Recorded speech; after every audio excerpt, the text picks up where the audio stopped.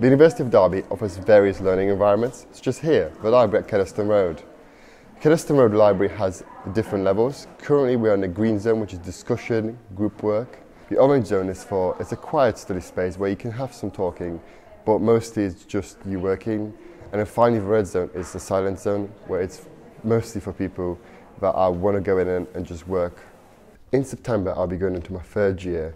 That means I'll be doing my dissertation. I'm one of the lucky people that will be using the aquatic research facility at the University of Derby. In one of our modules called Research Methods, one of the coursework, which was worth 80%, was about creating a project and then doing the experiment and doing the write-up on it. It prepared me for my dissertation, as in that project I used different techniques, uh, experimental designs, statistical analysis, and various ways of carrying out the experiment. As a biology student, I use various facilities at the University of Derby. Mostly it's the library here at Road or closer to my house at Britannia Mill. However, I do most of my work in the labs and classrooms. The labs here in T Block are great as they're quite big, quite open and they have all the tech that I need to do my work.